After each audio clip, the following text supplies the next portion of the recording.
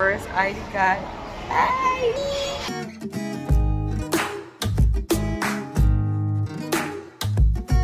So this video is going to be in three parts. Application, collection and summary of all the documents and the steps that you need to follow to apply for your Carteira de Identidade. Keep watching.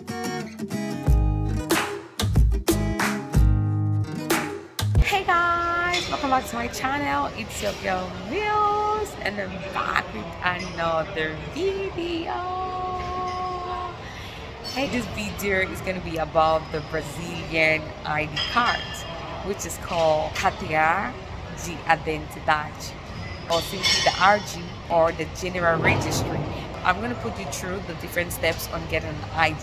This is very easy and straightforward. It's my first Brazilian ID card. Actually, the first Brazilian ID card is free my first ID card is going to be the innovative one. It's going to be the new ID card. So I'm also very excited. Yeah, so we're here at their location. So that's the office and we need to, we're in the queue. So we need to go there 11, 11, 20, 11, 30, 11, 35.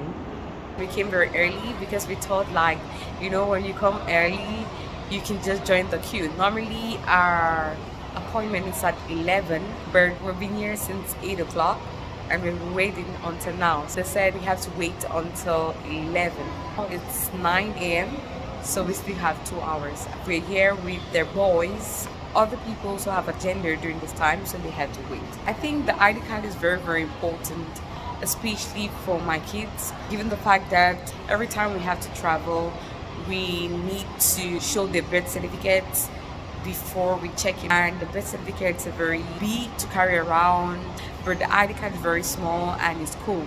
Unlike in my home country where you have to apply for the RG only when you're of age like 15 years old and above in Brazil as soon as you're born you can apply for your RG it's portable and it's good because you can use it around for many things like to open up a bank account, identify yourself, to register on websites online, to buy things online, to do like business and many other things is very very important.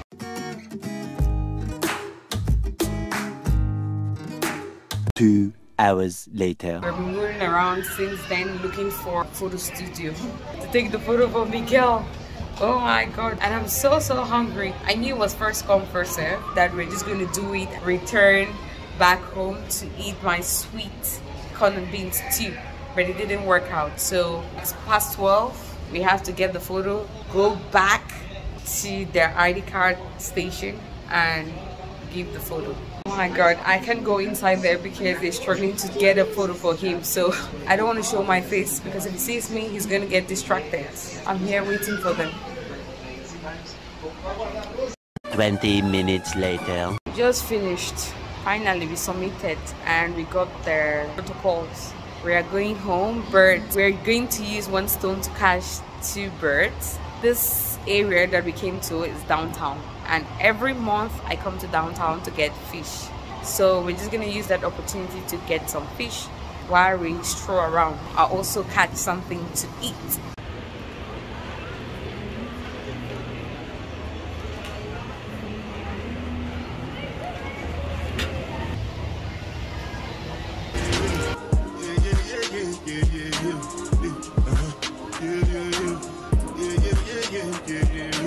Going to a regular customer, so I want to get tilapia. And we always buy tilapia. Here. And we have fresh tilapia here. yeah, we're gonna buy four. There's some big ones there. The good thing is that you can tell them to fix it for you. This place is very nice.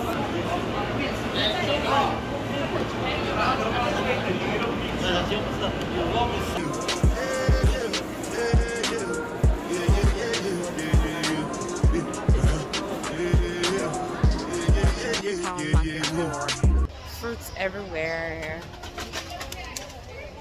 Fruity. very succulent, cool plantain. Cool. You know what I mean? 36 36 choppy shop yeah so if you want to get fresh food from the market for a cheaper price you can just come here.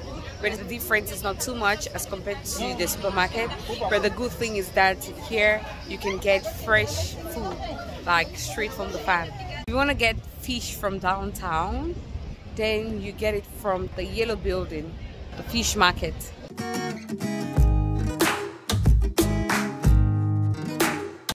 Hi. Hi. Today makes it three weeks. They don't send any notification or nothing, so they always say 20 days, but today makes it 15 days, like three weeks. So we're here to check. Hopefully, we get it. Fingers crossed. Fingers crossed. Hopefully. It's out. he just confirmed that it's out. So I'm waiting for him to sign. First ID card. ID card! It's our first ID card. Marcelito, have you seen your ID card? Four ID cards, new ID cards. Our first ID card is free. You cannot apply for the ID card at an embassy out of Brazil. Must be in Brazil. This is a new ID card and this one carries the CPF number.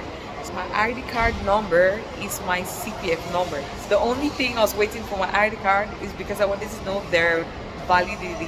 Like I wanted to know the expiration date of the ID card. So we're done with this, done with this part.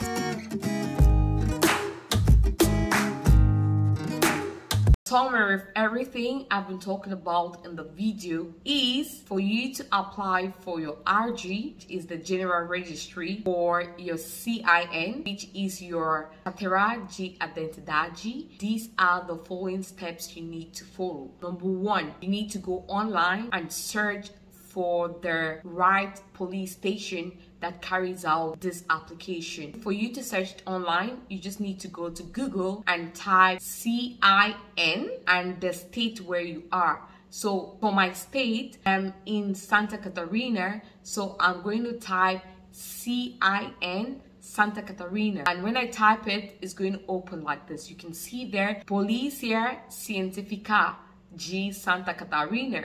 So if you're in Sao Paulo, put the CIN Sao Paulo.